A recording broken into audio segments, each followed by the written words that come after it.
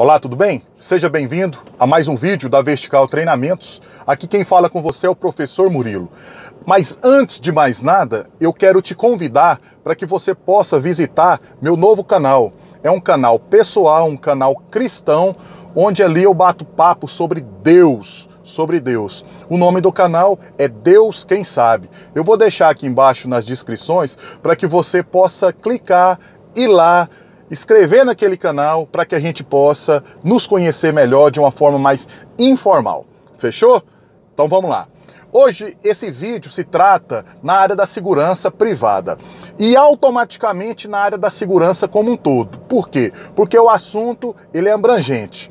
Normalmente as pessoas já são até segurança e não sabe diferenciar o que é furto e o que é roubo. Normalmente as pessoas se confundem muito. Ok, mas nós estamos aqui para aprender e para esclarecer qual que é a diferença. O que é roubo? Na verdade, roubo é aquilo que eles te pegam, te tomam, automaticamente pega de você onde você está vendo, vendo o que está acontecendo.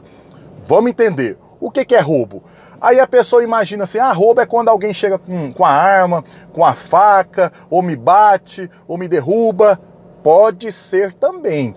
Mas a pessoa pode simplesmente chegar: Olá, bom dia, tudo bem? Tudo jóia? Eu sou um bandido e eu estou aqui para simplesmente te roubar. Eu quero o seu carro, eu quero a sua bicicleta, eu quero o seu celular. Aí você entrega, essa pessoa simplesmente roubou e não teve nenhum tipo de violência. Percebeu?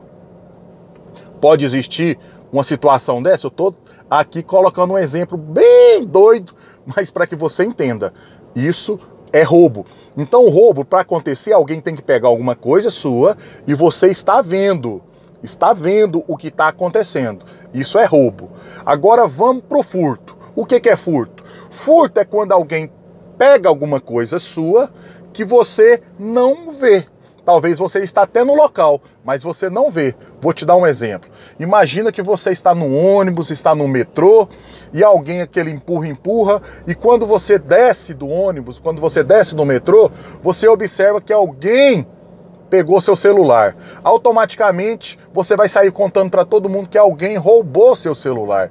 Não foi roubo, porque você não viu, e quando eu não vejo, então é furto, ok? E a gente acaba confundindo isso. E, e naturalmente, é, quando a gente fala que a, a bandidagem é uma, uma bandidagem organizada, isso nos surpreende. Por quê?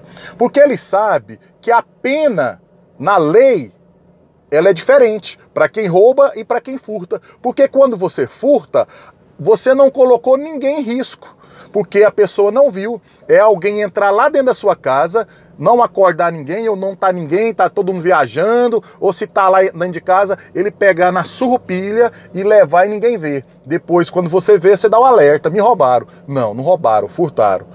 É até um, eu, eu uso sempre isso na sala de aula, é até interessante. A maioria dos políticos, eles não roubam, eles não roubam, eles furtam. Por isso que é difícil de comprovar o que ele fez, porque ninguém viu. Olha só que interessante. Ninguém viu. Aquele. Quem é esse ninguém? Vamos colocar nós como povo. O povo não viu. Eu não vi. O, aquele político, aquele outro roubando. Eu não vi. E se eu não vi, então foi furto. Tá? Então essa que é a grande diferença do roubo e do furto. O furto eu não vejo. O roubo eu vejo. Fechou?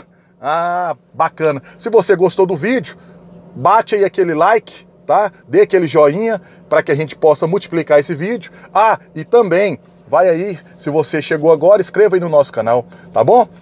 Agradeço demais. Ah, e vai lá no nosso canal, Deus quem sabe. Vou deixar aqui embaixo aqui, lá nos dizeres aqui, no, nas mensagens, tá bom?